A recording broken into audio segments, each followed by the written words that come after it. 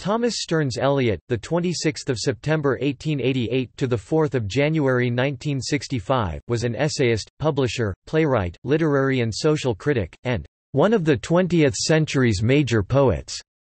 Born in St. Louis, Missouri, in the United States, to a prominent Boston Brahmin family, he moved to England in 1914 at the age of 25, settling, working, and marrying there.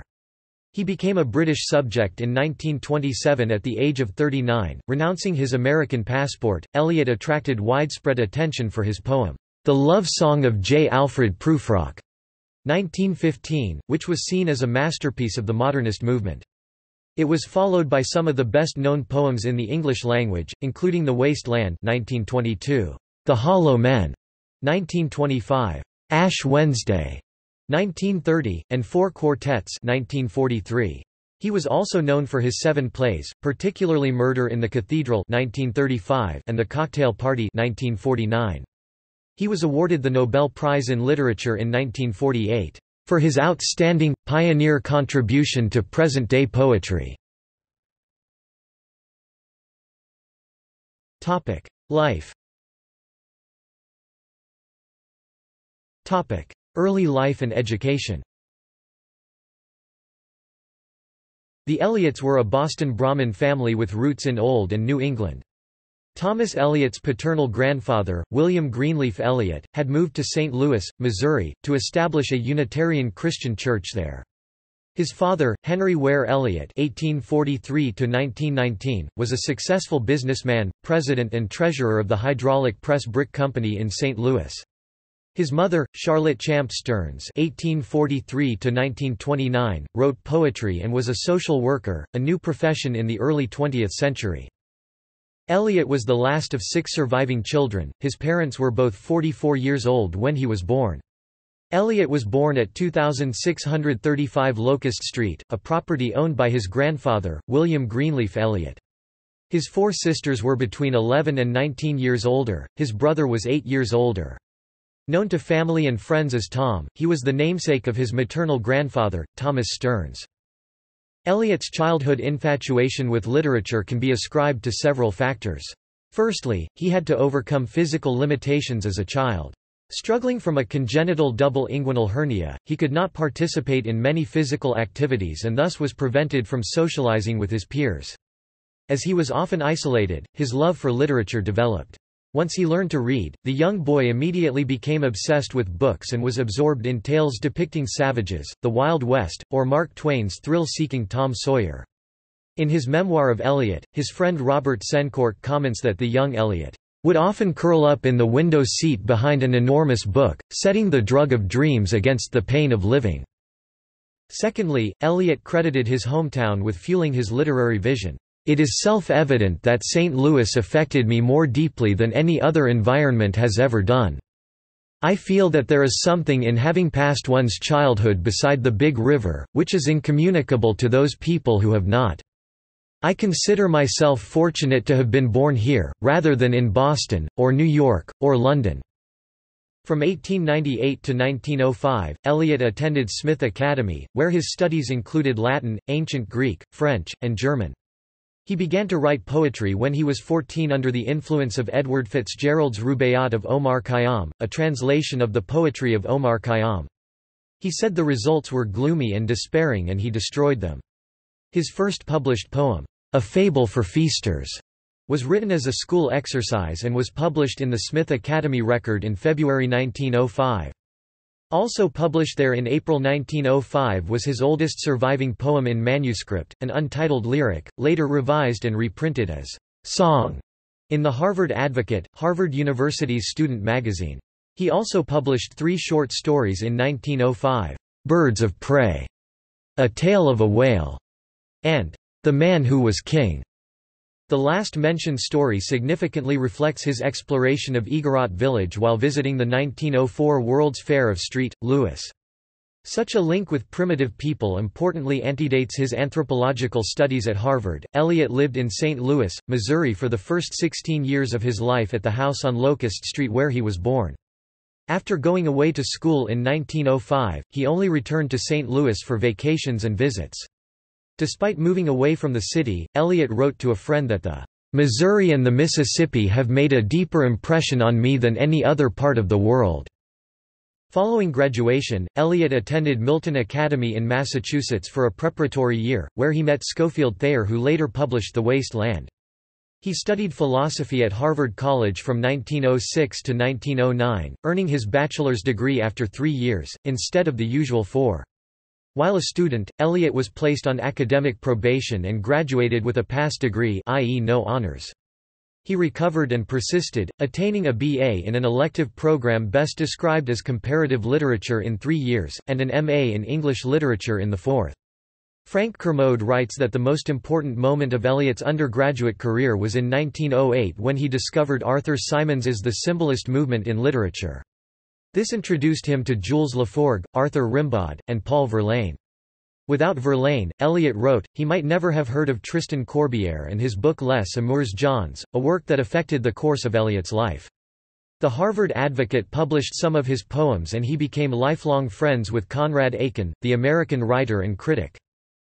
After working as a philosophy assistant at Harvard from 1909 to 1910, Eliot moved to Paris where, from 1910 to 1911, he studied philosophy at the Sorbonne. He attended lectures by Henri Bergson and read poetry with Henri Alban Fournier. From 1911 to 1914, he was back at Harvard studying Indian philosophy and Sanskrit. Eliot was awarded a scholarship to Merton College, Oxford, in 1914. He first visited Marburg, Germany, where he planned to take a summer program, but when the First World War broke out he went to Oxford instead. At the time so many American students attended Merton that the Junior Common Room proposed a motion, "...that this society abhors the Americanization of Oxford." It was defeated by two votes. After Eliot reminded the students how much they owed American culture, Eliot wrote to Conrad Aiken on New Year's Eve 1914, I hate university towns and university people, who are the same everywhere, with pregnant wives, sprawling children, many books and hideous pictures on the walls. Oxford is very pretty, but I don't like to be dead." Escaping Oxford, Eliot spent much of his time in London. This city had a monumental and life-altering effect on Eliot for several reasons, the most significant of which was his introduction to the influential American literary figure Ezra Pound. A connection through Aiken resulted in an arranged meeting and on the 22nd of September 1914, Eliot paid a visit to Pound's flat. Pound instantly deemed Eliot worth watching and was crucial to Eliot's beginning career as a poet, as he is credited with promoting Eliot through social events and literary gatherings. Thus, according to biographer John Worthen, during his time in England Eliot was seeing as little of Oxford as possible. He was instead spending long periods of time in London, in the company of Ezra Pound and some of the modern artists whom the war has so far spared. It was Pound who helped most, introducing him everywhere. In the end, Eliot did not settle at Merton and left after a year. In 1915 he taught English at Birkbeck, University of London. By 1916, he had completed a doctoral dissertation for Harvard on knowledge and experience in the philosophy of F. H. Bradley, but he failed to return for the viva voce exam. Topic marriage In a letter to Aiken late in December 1914, Eliot, aged 26, wrote, I am very dependent upon women I mean female society. Less than four months later, Thayer introduced Eliot to Vivian Haigh-Wood, a Cambridge governess. They were married at Hampstead Register Office on 26 June 1915. After a short visit alone to his family in the United States, Eliot returned to London and took several teaching jobs, such as lecturing at Birkbeck College, University of London. The philosopher Bertrand Russell took an interest in Vivian while the newlyweds stayed in his flat. Some scholars have suggested that she and Russell had an affair, but the allegations were never confirmed. The marriage was markedly unhappy, in part because of Vivian's health issues. In a letter addressed to Ezra Pound, she covers an extensive list of her symptoms, which included a habitually high temperature, fatigue, insomnia, migraines, and colitis. This, coupled with apparent mental instability, meant that she was often sent away by Eliot and her doctors for extended periods of time in the hope of improving her health, and as time went on, he became increasingly detached from her. The couple formally separated in 1933 and in 1938 Vivian's brother, Maurice, had her committed to a lunatic asylum, against her will, where she remained until her death of heart disease in 1947. Their relationship became the subject of a 1984 play Tom and Viv, which in 1994 was adapted as a film of the same name.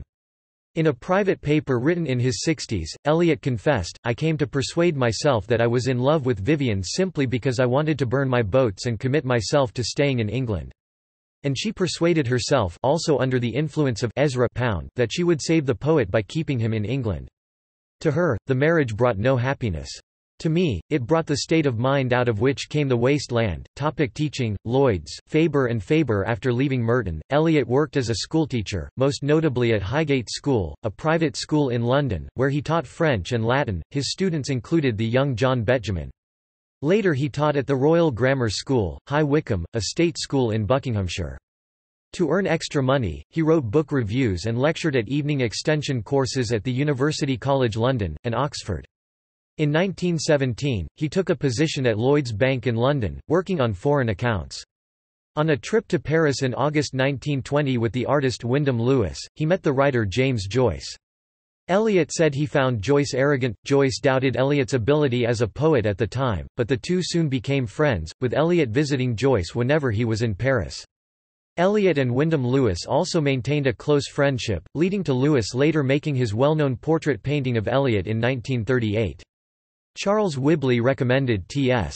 Eliot to Geoffrey Faber. In 1925 Eliot left Lloyd's to become a director in the publishing firm Faber and Gwyer, later Faber and Faber, where he remained for the rest of his career. At Faber and Faber, he was responsible for publishing important English poets like W. H. Auden, Stephen Spender, and Ted Hughes. Conversion to Anglicanism and British citizenship On 29 June 1927, Eliot converted to Anglicanism from Unitarianism, and in November that year he took British citizenship. He became a warden of his parish church, St Stephen's, Gloucester Road, London, and a life member of the Society of King Charles the Martyr. He specifically identified as Anglo-Catholic, proclaiming himself, "...classicist in literature, royalist in politics, and Anglo-Catholic in religion." About 30 years later Eliot commented on his religious views that he combined a Catholic cast of mind, a Calvinist heritage, and a puritanical temperament. He also had wider spiritual interests, commenting that, I see the path of progress for modern man in his occupation with his own self, with his inner being." And citing Goethe and Rudolf Steiner as exemplars of such a direction, one of Eliot's biographers, Peter Ackroyd, commented that, the purposes of Eliot's conversion were twofold. One, the Church of England offered Eliot some hope for himself, and I think Eliot needed some resting place. But secondly, it attached Eliot to the English community and English culture. Separation and remarriage By 1932, Eliot had been contemplating a separation from his wife for some time. When Harvard offered him the Charles Eliot Norton Professorship for the 1932–1933 academic year, he accepted and left Vivian in England. Upon his return, he arranged for a formal separation from her, avoiding all but one meeting with her between his leaving for America in 1932 and her death in 1947. Vivian was committed to the Northumberland House Mental Hospital, Stoke Newington, in 1938, and remained there until she died. Although Eliot was still legally her husband, he never visited her. From 1938 to 1957, Eliot's public companion was Mary Trevelyan of London University, who wanted to marry him and left a detailed memoir. From 1946 to 1957, Eliot shared a flat at 19 Carlisle Mansions, Chelsea, with his friend John Davy Hayward, who collected and managed Eliot's papers, styling himself, Keeper of the Eliot Archive. Hayward also collected Eliot's pre-Prufrock verse, commercially published after Eliot's death as poems written in early youth. When Eliot and Hayward separated their household in 1957, Hayward retained his collection of Eliot's papers, which he bequeathed to King's College, Cambridge, in 1965. On 10 January 1957, at the age of 68, Eliot married Esme Valerie Fletcher, who was 30. In contrast to his first marriage, Eliot knew Fletcher well, as she had been his secretary at Faber and Faber since August 1949. They kept their wedding secret. The ceremony was held in a church at 6:15 a.m. with virtually no one in attendance other than his wife's parents. Eliot had no children with either of his wives. In the early 1960s, by then in failing health, Eliot worked as an editor for the Wesleyan University Press, seeking new poets in Europe for publication. After Eliot's death, Valerie dedicated her time to preserving his legacy, by editing and annotating the letters of T.S. Eliot and a facsimile of the draft of The Waste Land. Valerie Eliot died on 9 November 2012 at her home in London. Death and honours Eliot died of emphysema at his home in Kensington in London, on 4 January 1965, and was cremated at Golders Green Crematorium. In accordance with his wishes, his ashes were taken to St. Michael and All Angels Church, East Coker, the village in Somerset from which his Eliot ancestors had emigrated to America. A wall plaque commemorates him with a quotation from his poem, East Coker. In my beginning is my end. In my end is my beginning.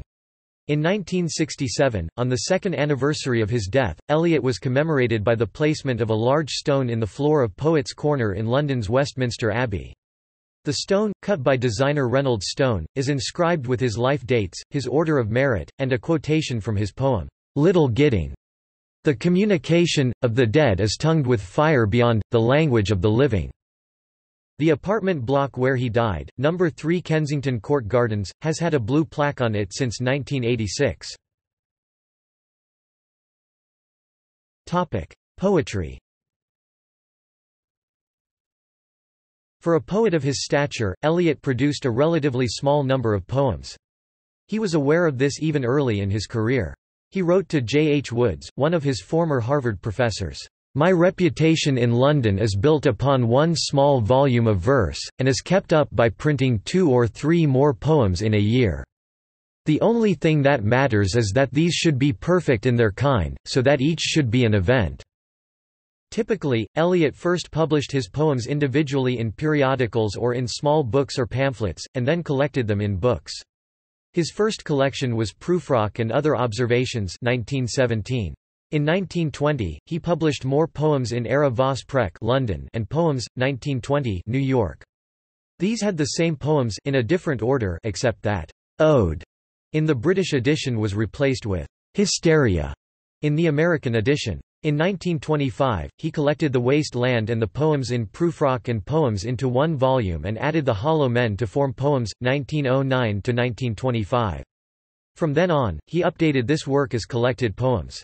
Exceptions are Old Possum's Book of Practical Cats 1939, a collection of light verse, poems written in early youth, posthumously published in 1967 and consisting mainly of poems published between 1907 and 1910 in the Harvard Advocate, and Inventions of the March Hare, poems 1909–1917, material Eliot never intended to have published, which appeared posthumously in 1997. During an interview in 1959, Eliot said of his nationality and its role in his his work. I'd say that my poetry has obviously more in common with my distinguished contemporaries in America than with anything written in my generation in England. That I'm sure of. It wouldn't be what it is, and I imagine it wouldn't be so good, putting it as modestly as I can, it wouldn't be what it is if I'd been born in England, and it wouldn't be what it is if I'd stayed in America. It's a combination of things. But in its sources, in its emotional springs, it comes from America. Cleo McNelly Kearns notes in her biography that Eliot was deeply influenced by Indic traditions, notably the Upanishads. From the Sanskrit ending of the Waste Land to the What Krishna Meant section of four quartets shows how much Indic religions and more specifically Hinduism made up his philosophical basic for his thought process. It must also be acknowledged, as Chinmoy Guha showed in his book Where the Dreams Cross, T.S. Eliot and French Poetry Macmillan, 2011, that he was deeply influenced by French poets from Baudelaire to Paul Valéry. He himself wrote in his 1940 essay on W.B. Yeats, "...the kind of poetry that I needed to teach me the use of my own voice did not exist in English at all, it was only to be found in French." Yeats on Poetry and Poets, 1948 The Love Song of J. Alfred Prufrock equals equals equals. In 1915, Ezra Pound, overseas editor of Poetry magazine, recommended to Harriet Monroe, the magazine's founder, that she publish The Love Song of J. Alfred Prufrock. Although the character Prufrock seems to be middle-aged, Eliot wrote most of the poem when he was only 22. Its now famous opening lines, comparing the evening sky to a patient etherized upon a table, were considered shocking and offensive, especially at a time when Georgian poetry was hailed for its derivations of the 19th-century Romantic poets. The poem follows the conscious experience of a man, Prufrock relayed in the stream of consciousness form characteristic of the modernists, lamenting his physical and intellectual inertia with the recurrent theme of carnal love unattained. Critical opinion is divided as to whether the narrator leaves his residence during the course of the narration. The locations described can be interpreted either as actual physical experiences, mental recollections, or as symbolic images from the unconscious mind, as, for example, in the refrain, "'In the room the women come and go'". The poem's structure was heavily influenced by Eliot's extensive reading of Dante and refers to a number of literary works, including Hamlet and those of the French symbolists. Its reception in London can be gauged from an unsigned review in the Times Literary Supplement on 21 June 1917. The fact that these things occurred to the mind of Mr. Eliot is surely of the very smallest importance to anyone, even to himself. They certainly have no relation to poetry. The Waste Land In October 1922, Eliot published The Waste Land in the Criterion. Eliot's dedication to Il Miglior Fabbro, the better craftsman, refers to Ezra Pound's significant hand in editing and reshaping the poem from a longer Eliot manuscript to the shortened version that appears in publication. It was composed during a period of personal difficulty for Eliot. His marriage was failing, and both he and Vivian were suffering from nervous disorders. The poem is often read as a representation of the disillusionment of the post-war generation. Before the poem's publication as a book in December 1922, Eliot distanced himself from its vision of despair. On 15 November 1922, he wrote to Richard Aldington, saying, As for the waste land, that is a thing of the past so far as I am concerned and I am now feeling toward a new form and style." The poem is known for its obscure nature, its slippage between satire and prophecy, its abrupt changes of speaker, location, and time. This structural complexity is one of the reasons why the poem has become a touchstone of modern literature, a poetic counterpart to a novel published in the same year, James Joyce's Ulysses. Among its best-known phrases are, "'April is the cruelest month'", "'I will show you fear in a handful of dust'", and "'Shanti Shanti Shanti'". The Sanskrit mantra ends the poem. The Hollow Men The Hollow Men appeared in 1925. For the critic Edmund Wilson, it marked the nadir of the phase of despair and desolation given such effective expression in The Waste Land. It is Eliot's major poem of the late 1920s. Similar to Eliot's other works, its themes are overlapping and fragmentary. Post-war Europe under the Treaty of Versailles which Eliot despised, the difficulty of hope and religious conversion, Eliot's failed marriage. Allen Tate perceived a shift in Eliot's method, writing, the mythologies disappear altogether in The Hollow Men. Quote, this is a striking claim for a poem as indebted to Dante as anything else in Eliot's early work, to say little of the modern English mythology—the old Guy Fawkes of the Gunpowder Plot, or the colonial and agrarian mythos of Joseph Conrad and James George Frazer, which, at least for reasons of textual history, echo in The Waste Land. The continuous parallel between contemporaneity and antiquity that is so characteristic of his mythical method remained in fine form. The Hollow Men contains some of Eliot's most famous lines, notably its conclusion, This is the way the world ends not with a bang but a whimper. Ash Wednesday Ash Wednesday is the first long poem written by Eliot after his 1927 conversion to Anglicanism. Published in 1930, it deals with the struggle that ensues when one who has lacked faith acquires it. Sometimes referred to as Eliot's conversion poem. It is richly but ambiguously elusive, and deals with the aspiration to move from spiritual barrenness to hope for human salvation. Eliot's style of writing in Ash Wednesday showed a marked shift from the poetry he had written prior to his 1927 conversion, and his post-conversion style continued in a similar vein. His style became less ironic, and the poems were no longer populated by multiple characters in dialogue. His subject matter also became more focused on Eliot's spiritual concerns and his Christian faith. Many critics were particularly enthusiastic about Ash Wednesday. Edwin Muir maintained that it is one of the most moving poems Eliot wrote, and perhaps the most perfect, though it was not well received by everyone. The poem's groundwork of Orthodox Christianity discomfited many of the more secular literati. Old Possum's Book of Practical Cats In 1939, Eliot published a book of light verse, Old Possum's Book of Practical Cats. Old Possum was Ezra Pound's nickname for him.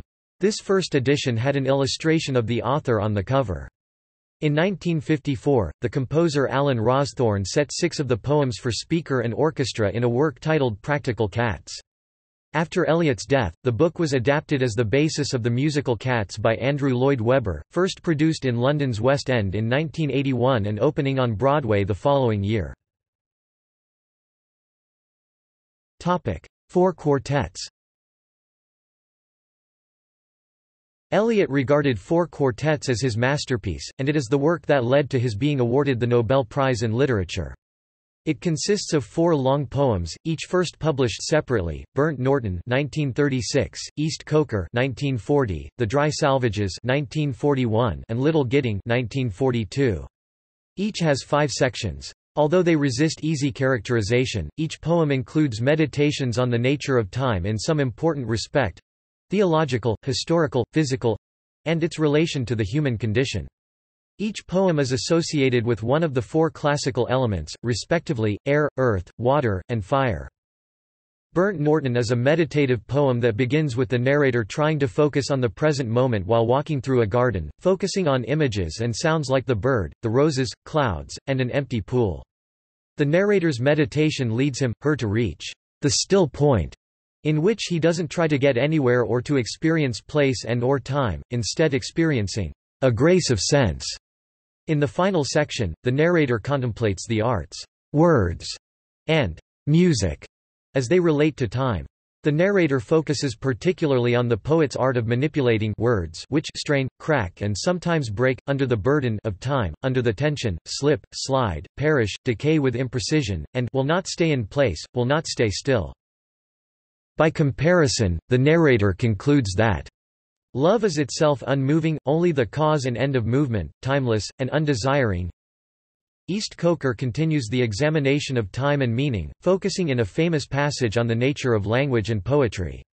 Out of darkness, Eliot offers a solution. I said to my soul, be still, and wait without hope. The Dry Salvages treats the element of water, via images of river and sea. It strives to contain opposites. The past and future, are conquered, and reconciled. Little Gidding the element of fire is the most anthologized of the quartets. Eliot's experiences as an air raid warden in the Blitz power the poem, and he imagines meeting Dante during the German bombing. The beginning of the quartet's houses, are removed, destroyed, had become a violent everyday experience. This creates an animation, where for the first time he talks of love as the driving force behind all experience. From this background, the quartets end with an affirmation of Julian of Norwich, "...all shall be well and, all manner of things shall be well." The four quartets cannot be understood without reference to Christian thought, traditions, and history. Eliot draws upon the theology, art, symbolism and language of such figures as Dante, and mystics Saint John of the Cross and Julian of Norwich. The deeper communion sought in East Coker, the Hints and whispers of children, the sickness that must grow worse in order to find healing. And the exploration which inevitably leads us home all point to the pilgrim's path along the road of sanctification. Plays With the important exception of four quartets, Eliot directed much of his creative energies after Ash Wednesday to writing plays in verse, mostly comedies or plays with redemptive endings. He was long a critic and admirer of Elizabethan and Jacobean verse drama, witness his allusions to Webster, Thomas Middleton, William Shakespeare and Thomas Kyd in The Waste Land. In a 1933 lecture he said, "...every poet would like, I fancy, to be able to think that he had some direct social utility." He would like to be something of a popular entertainer, and be able to think his own thoughts behind a tragic or a comic mask. He would like to convey the pleasures of poetry, not only to a larger audience, but to larger groups of people collectively, and the theatre is the best place in which to do it." After The Waste Land 1922, he wrote that he was, "...now feeling toward a new form and style." One project he had in mind was writing a play in verse, using some of the rhythms of early jazz. The play featured Sweeney, a character who had appeared in a number of his poems. Although Eliot did not finish the play, he did publish two scenes from the piece. These scenes, titled Fragment of a Prologue 1926 and Fragment of an Agon 1927, were published together in 1932 as Sweeney Agonistes.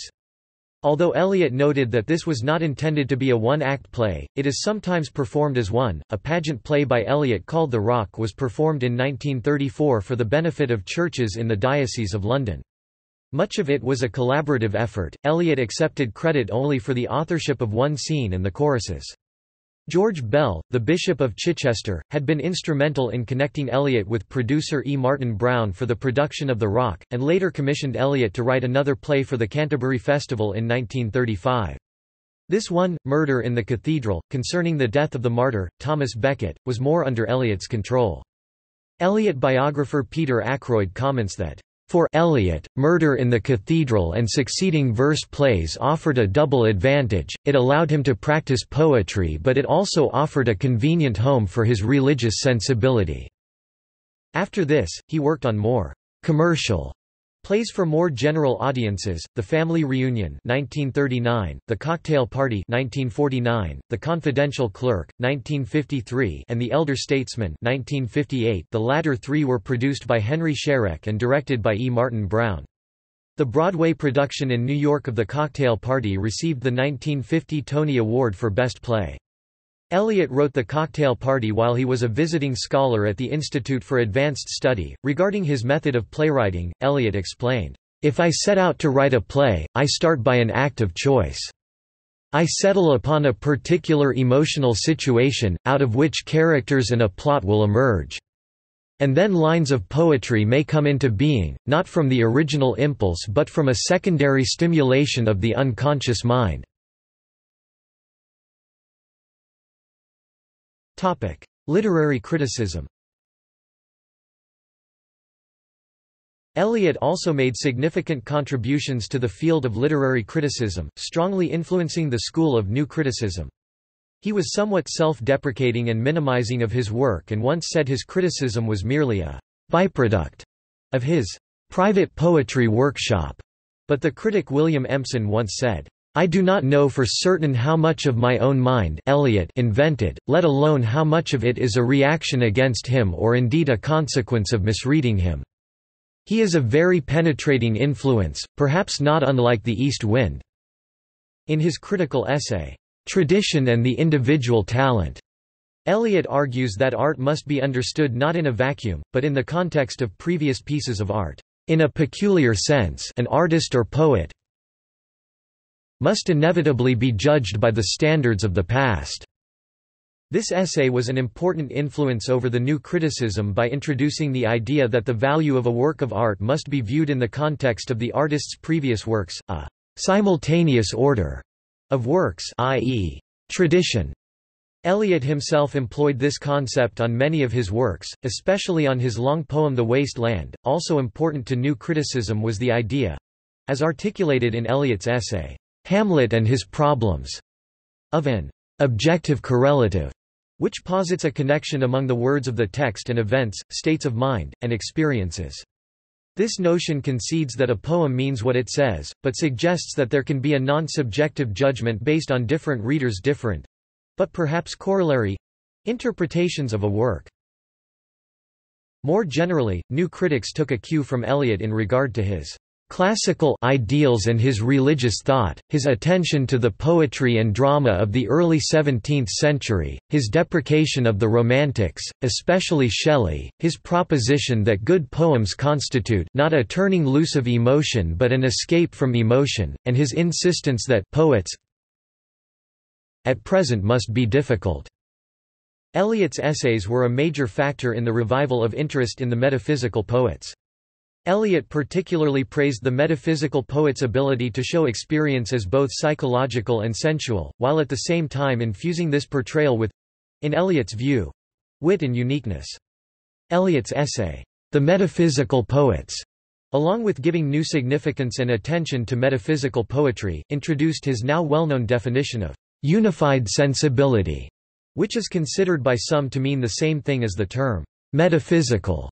His 1922 poem The Waste Land also can be better understood in light of his work as a critic. He had argued that a poet must write programmatic criticism, that is, a poet should write to advance his own interests rather than to advance historical scholarship. Viewed from Eliot's critical lens, The Waste Land likely shows his personal despair about World War I rather than an objective historical understanding of it. Late in his career, Eliot focused much of his creative energy on writing for the theatre. Some of his earlier critical writing, in essays such as Poetry and Drama, Hamlet and His Problems, and The Possibility of a Poetic Drama, focused on the aesthetics of writing drama in verse. Topic: Critical reception. Topic: Responses to his poetry. The writer Ronald Bush notes that Eliot's early poems like The Love Song of J. Alfred Prufrock, Portrait of a Lady, La Figlia che piange, Preludes, and Rhapsody on a Windy Night, had an effect that was both unique and compelling, and their assurance staggered Eliot's contemporaries who were privileged to read them in manuscript. Conrad Aiken, for example, marveled at how sharp and complete and sui generis the whole thing was, from the outset. The wholeness is there, from the very beginning. The initial critical response to Eliot's The Waste Land was mixed. Bush notes that the piece was at first correctly perceived as a work of jazz-like syncopation, and, like 1920s jazz, essentially iconoclastic. Quote, some critics, like Edmund Wilson, Conrad Aiken, and Gilbert Seldes thought it was the best poetry being written in the English language while others thought it was esoteric and willfully difficult. Edmund Wilson, being one of the critics who praised Eliot, called him one of our only authentic poets. Wilson also pointed out some of Eliot's weaknesses as a poet. In regard to the waste land, Wilson admits its flaws, its lack of structural unity, but concluded, I doubt whether there is a single other poem of equal length by a contemporary American which displays so high and so varied a mastery of English verse. Charles Powell was negative in his criticism of Eliot, calling his poems incomprehensible.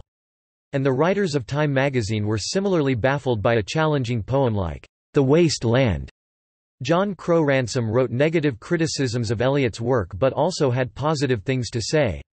For instance, though Ransom negatively criticized The Waste Land for its extreme disconnection, Ransom was not completely condemnatory of Eliot's work and admitted that Eliot was a talented poet, addressing some of the common criticisms directed against The Waste Land.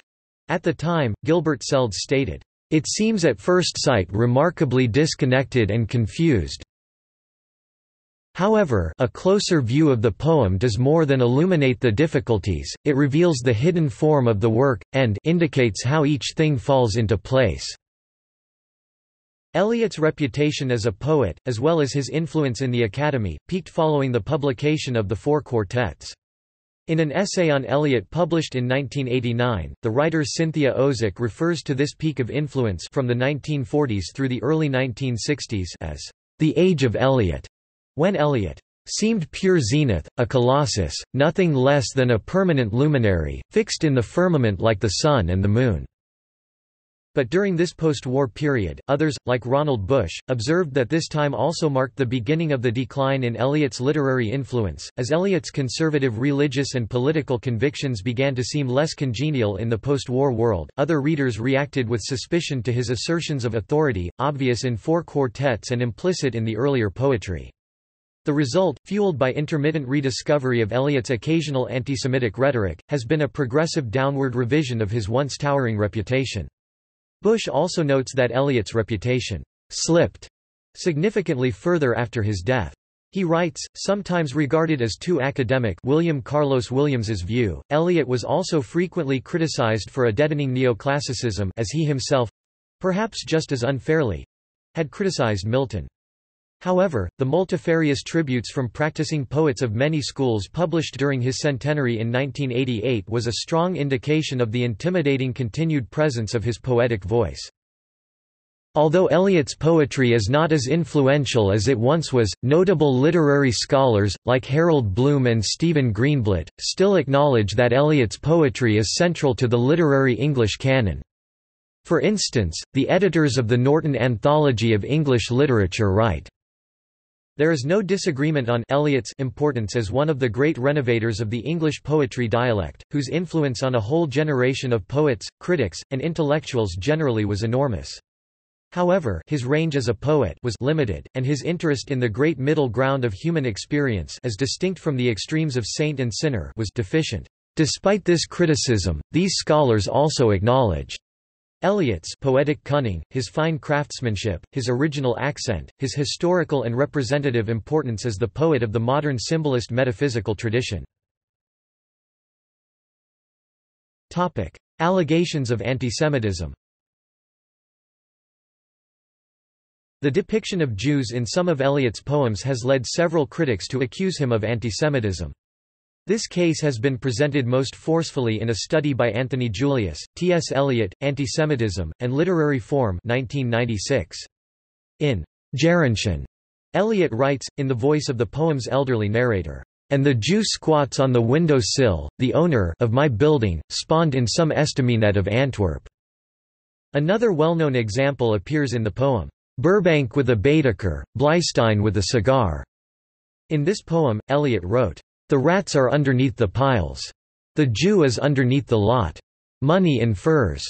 Interpreting the line as an indirect comparison of Jews to rats, Julius writes, The antisemitism is unmistakable. It reaches out like a clear signal to the reader. Julius's viewpoint has been supported by literary critics such as Harold Bloom, Christopher Ricks, George Steiner, Tom Paulin and James Fenton, in a series of lectures delivered at the University of Virginia in 1933, published under the title After Strange Gods, A Primer of Modern Heresy 1934, Eliot wrote of societal tradition and coherence. What is still more important than cultural homogeneity is unity of religious background, and reasons of race and religion combine to make any large number of free-thinking Jews undesirable." Eliot never republished this book, lecture. In his 1934 pageant play The Rock, Eliot distances himself from fascist movements of the 30s by caricaturing Oswald Mosley's blackshirts, who firmly refused, to descend to palaver with anthropoid Jews. The new evangels of totalitarianism are presented as antithetic to the spirit of Christianity. Craig Raine, in his books in defense of T.S. Eliot 2001 and T.S. Eliot 2006, sought to defend Eliot from the charge of antisemitism.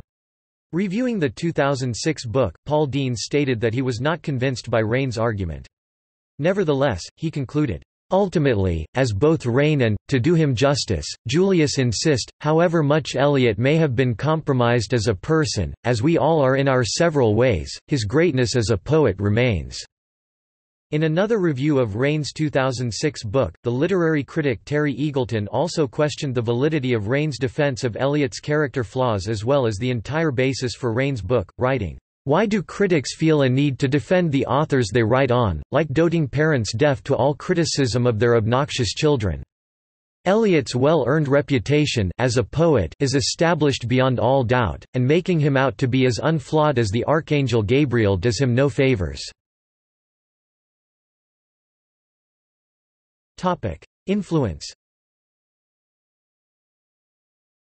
Eliot's influence extends beyond the English language. His work, in particular The Waste Land, The Hollow Men, and Ash Wednesday strongly influenced the poetry of two of the most significant post-war Irish-language poets, Seán Ó Ríordáin and Máirtín Ó Direáin, as well as The Weekend of Dermot and Grace 1964 by Owen O. Eliot additionally influenced, among many others, Virginia Woolf, Ezra Pound, Hart Crane, William Gaddis, Allen Tate, Ted Hughes, Geoffrey Hill, Seamus Heaney, Kamau Brathwaite, Russell Kirk, George Seferis who in 1936 published a modern Greek translation of The Waste Land, and James Joyce. Honours and awards Below are a partial list of honors and awards received by T. S. Eliot or bestowed or created in his honor. National or state honors These honors are displayed in order of precedence based on Eliot's nationality and rules of protocol, not awarding date.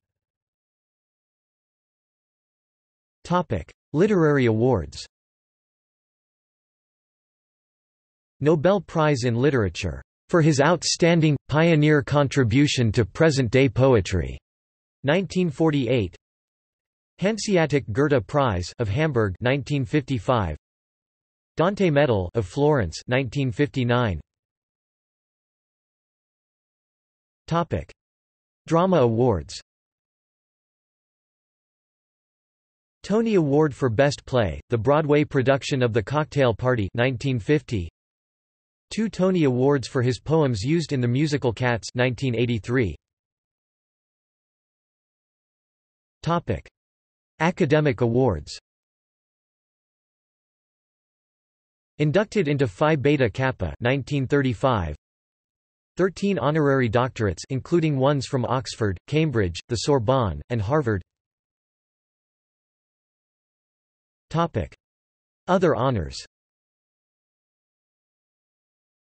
Eliot College of the University of Kent, England, named in his honour Celebrated on U.S. commemorative postage stamps Star on the St. Louis Walk of Fame Topic. Works Source T. S. Eliot Bibliography Nobel Prize. Retrieved 25 February 2012 Topic: Critical editions. Collected Poems 1909 to 1962, 1963 excerpt and text search. Old Possum's Book of Practical Cats, Illustrated Edition 1982 excerpt and text search.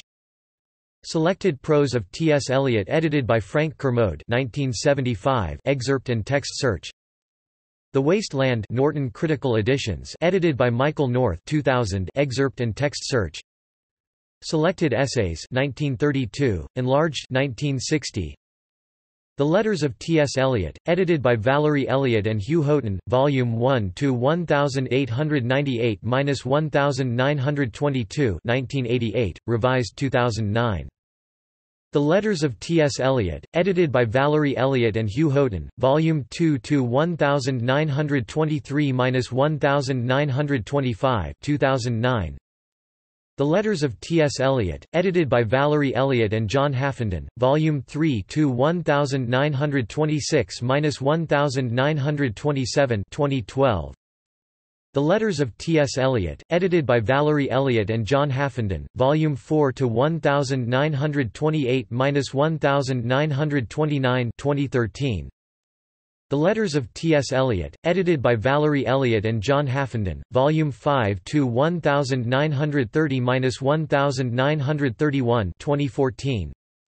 The Letters of T. S. Eliot, edited by Valerie Eliot and John Haffenden, Volume 6 to 1932-1933 2016. The Letters of T. S. Eliot, edited by Valerie Eliot and John Haffenden, Volume 7 to 1934-1935 2017. Topic. Notes Topic. Further reading Topic. External links Topic. Biography